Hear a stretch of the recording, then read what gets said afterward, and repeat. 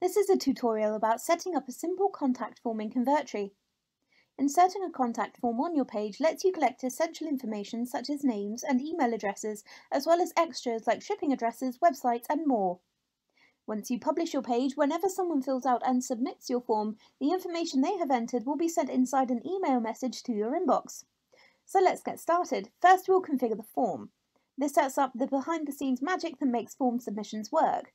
In the page builder, click on Forms in the top toolbar.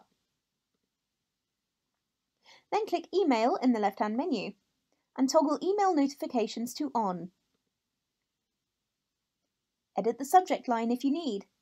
Email notifications will be sent from support at convertrinotifications.com, so be sure to add that to your VIP or contacts list.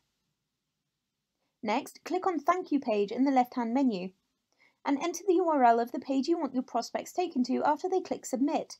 This could be your thank you page, upsell page, main website or anything else. Then click Done. Next, we need to add our form to our page. This means adding form fields for each type of information you want to collect and mapping them to help Convertri deliver the information to you. Click on Form Elements in the Elements tray and drag a first name or last name input onto your page. With your input element selected, click on Form Field Settings in the Properties panel. Choose the field type from the drop-down menu according to what information you want entered here. For example, if you want this box to be for email addresses, click on Email. Toggle the Required switch if you don't want users to be able to submit the form without entering this info. You can also choose to use form field validation to make sure the info entered is in the proper email format. Next, click on the arrow to go back to the main Properties panel menu. Click Input Properties.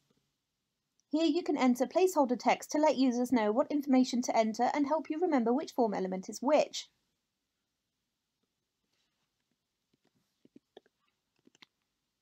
Next, drag over more form inputs from the Elements tray to complete your form. Build your form to collect as much info as you need, including first, middle, last and full names, phone numbers and more. Please remember you need to map everyone to its field type in the Properties panel. When you're done, don't forget to save and publish your page.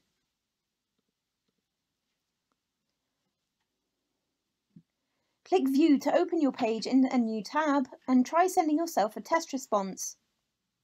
You'll receive an email in the inbox of the email listed as your main Convertri account every time your form is submitted.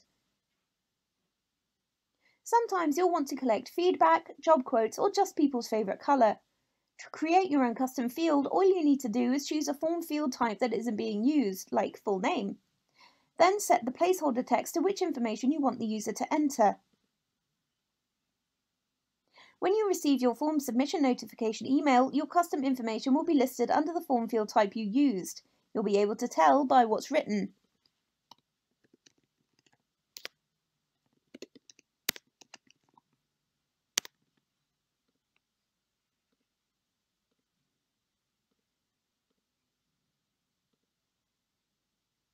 Please note, if you've got more than one form entry field on your page with the same type, Convertri will send the one that has the most data in it.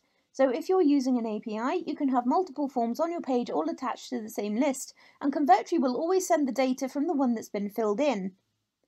If you have an agency account, you can send your form response emails to your client's email address instead, but they must be listed as a user on the sub-account that contains the page that you want to set up the contact form on. In the email section of the Forms dialog, just click here to let your client receive form responses. You'll be taken to the client screen where you'll see a confirmation message letting you know your client will receive form responses. Click the button to toggle form responses back to you.